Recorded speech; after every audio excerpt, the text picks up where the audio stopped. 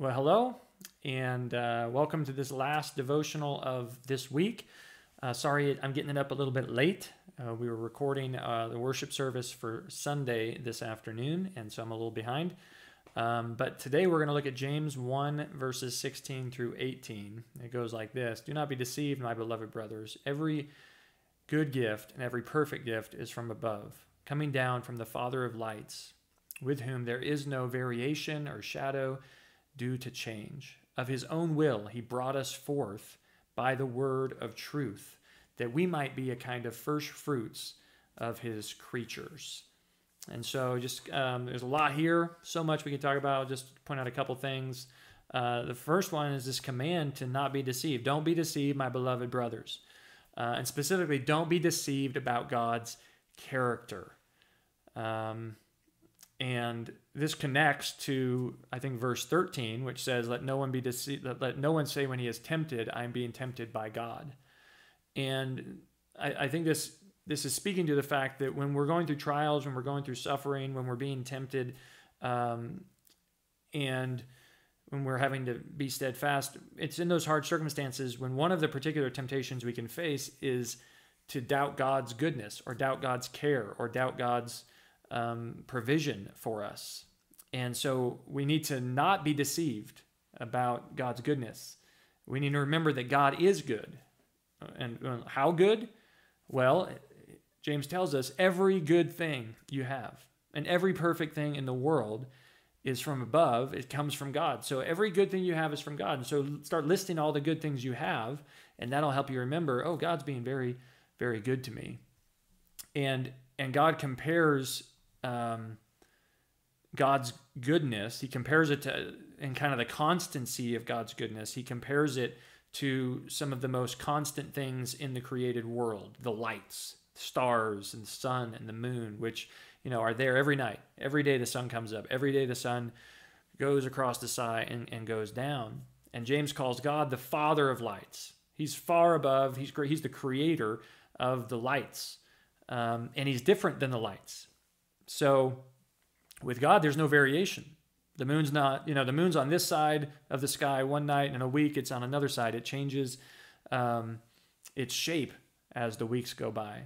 Uh, the sun, it heats the earth every day, but but it changes its place in the sky, and there's shadows, right, that are caused by the variations in the changing of uh, the sun and the moon. But unlike those constant things, God's goodness um, there is no variation and there's no shadow due to change. God is 100% good 100% of the time.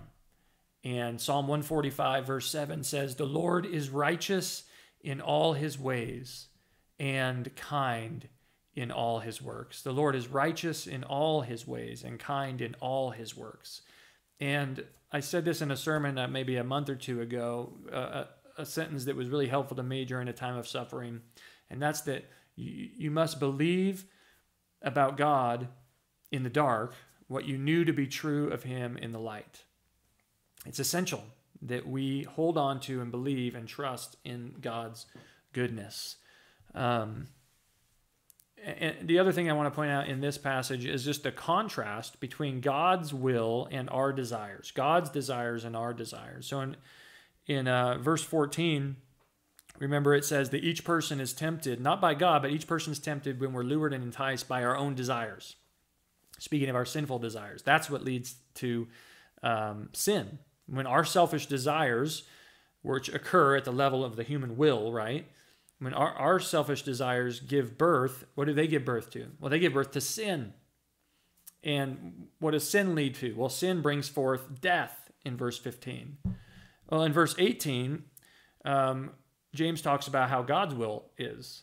Of of his own of his own will of God's will he brought us forth. And and here by the word of truth here he's talking about um, the experience of being born again made alive. Um, so we're dead in our trespasses and sins and God in his mercy of his own will makes us alive. He brings us forth. He gives us new birth. So our desires give birth to sin. God's will gives birth to new life um, to a new heart, uh, to a new outlook on life, to eternal life, to birthing children into his uh, family, the family of God. And so he brings new creations, kind of the first fruits of his creation, and new creation, he brings that, not death. That's what flows from God's heart and God's will. So, uh, just to sum up, as we as we remain steadfast by God's grace, let's not be deceived. Don't be deceived. Don't listen to the lies. Don't listen to um, the deceiver. Uh, don't be deceived. God is good. God gives good gifts. Every good thing in this world is from Him. Even to even good good things that people don't acknowledge. Even good things that people good things that people do who don't love God. Those good things are a gift of God's grace. He gives salvation, He gives new life, and He does all of that through His word of truth. And so let's stay in His word uh, and let's spread His word so that we'll see Him bring forth more and more people into His kingdom. All right, a couple words. Uh, I'm taking the weekend off uh, of these devotions. I'll finish uh, James next week and then we'll see what happens to the daily devotionals after we finish. Not, I won't finish James. I'll finish James chapter one, and then we'll see where we go from there. I'm praying about that. Uh, join us for the Sunday service on Sunday morning. Um, I think you'll be encouraged, and uh, let's continue to pray for each other, reach out to each other, care for each other, and uh, I'll see you soon.